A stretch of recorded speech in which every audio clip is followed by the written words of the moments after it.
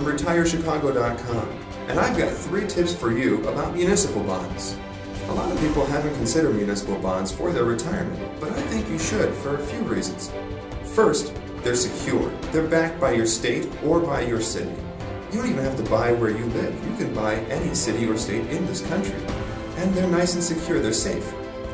Another great thing about them is that they pay interest well above what you're going to get at a bank, and just slightly below what you would get through the stock market, usually paying about 5%.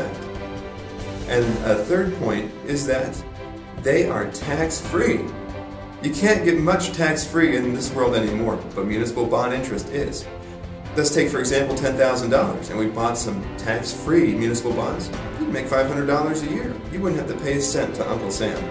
If you'd like to learn more, make sure you reach out and contact me.